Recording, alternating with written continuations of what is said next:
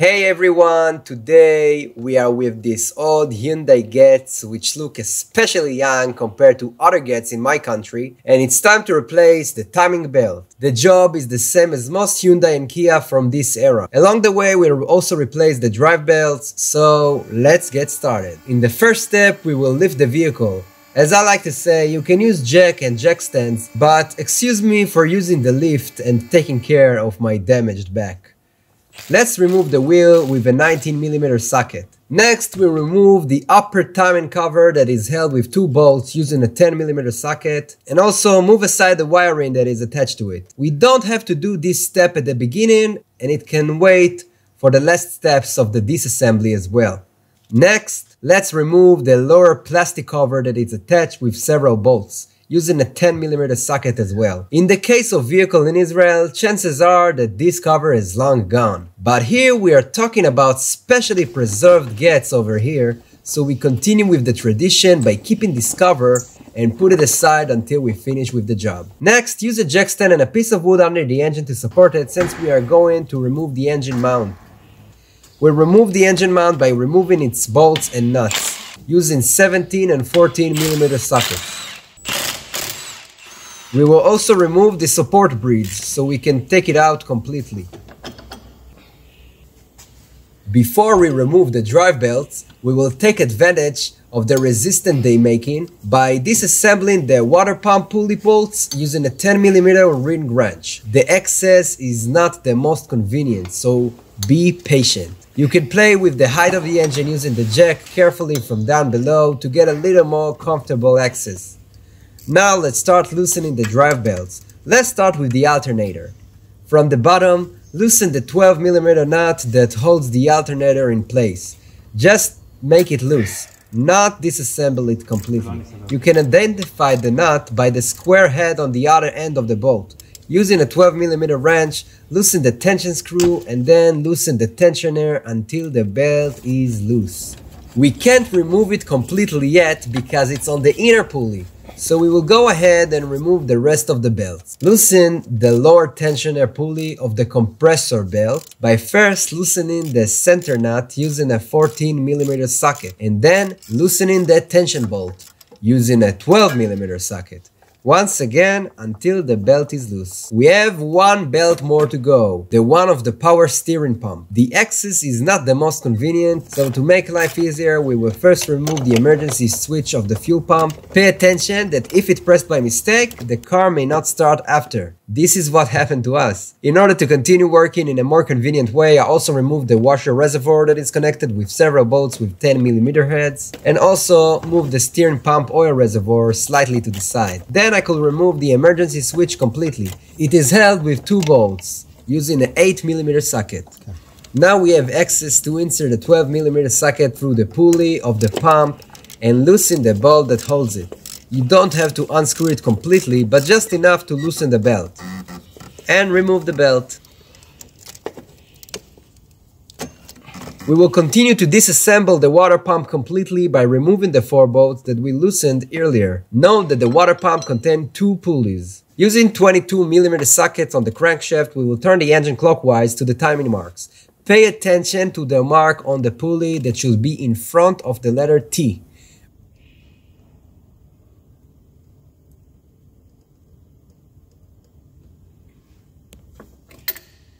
Make sure that the marking on the camshaft is also in place, so that in front of the upper hole in the camshaft pulley there is the marking.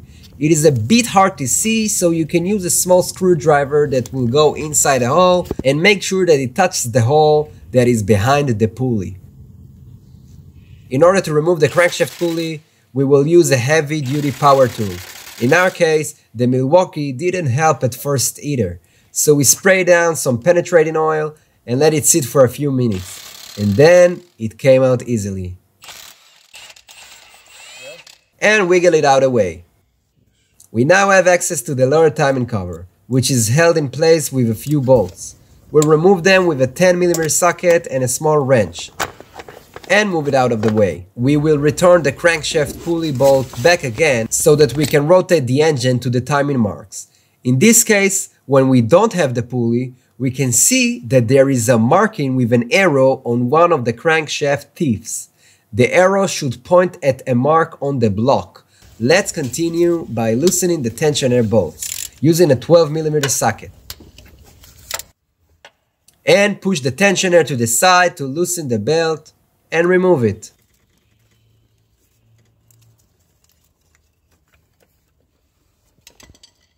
Now we will remove the tensioner and its spring completely. Pay attention that the spring is under pressure and be cautious while removing it. We will assemble the new tensioner in the reverse order. We will put it in full tension, meaning it should be all the way to the right and with the help of pliers we will lift the spring to its anchor point.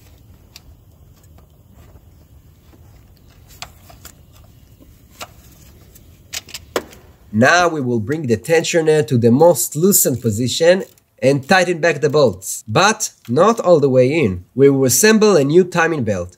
Pay attention to the direction of the belt. There aren't too many tricks here.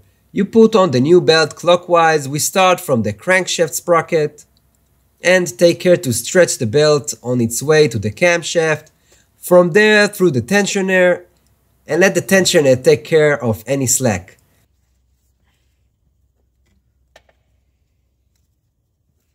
Make sure all the marking are in place all the way.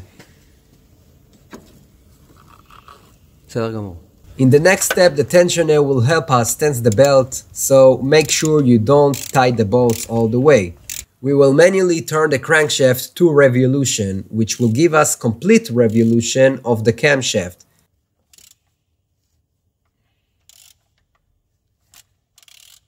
And make sure again that the markings stay in place. Now we will tighten the two tensioner bolts to 25 Newton meter. Now the belt should be tensioned at such a level that when we push it on the longest flat part, it is pushed about half a centimeter in.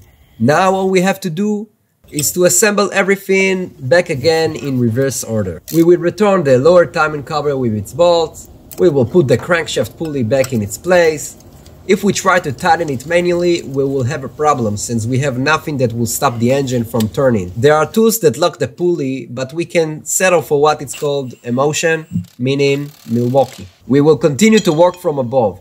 Assemble the water pump pulley connected with four bolts, and we will start assembling new drive belts. Starting with the alternator belt. And tighten the tensioner in the reverse order to what we did before. And don't forget the anchor bolt that is down there, near the oil filter. We will continue to the steering pump belt.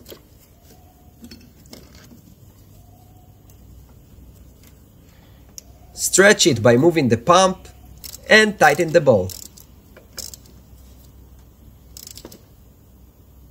Last but not least, the AC belt, we will put it on the pulley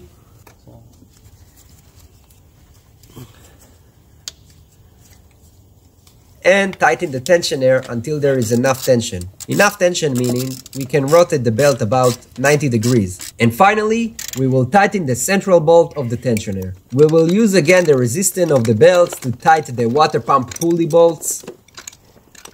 And then we will reassemble the other accessories we removed. The emergency switch of the fuel pump, the reservoir of the steering oil, and the windshield washer reservoir along with its hoses. And the pump as well. We will return the windshield fluid that we spilled. I'm not wasting any. We will return the engine mount together with its bracket. And tighten the nuts almost all the way. Making it pull the engine up and take the load off the jack stand that we placed under the engine at the beginning of the work.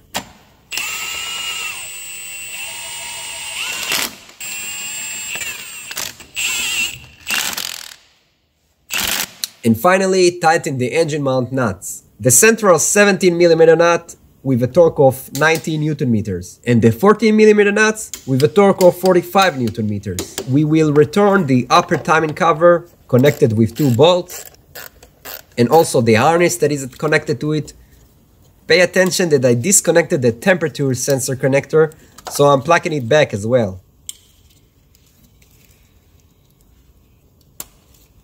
Just before we put the lower cover back on, while we are there, let's change the oil, the washer of the terrain plug, and the oil filter.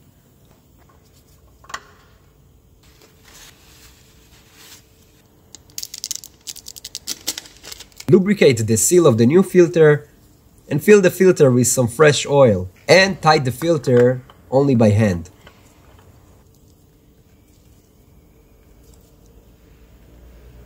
The time has come to reassemble the lower plastic cover because unlike anyone else, we want these Getz to be preserved the way it left the factory. And finally, we will put the wheel back in place. Lower the vehicle to the floor, fill 3.3 liters of new oil, and while I'm doing so, the air filter is also replaced in the background.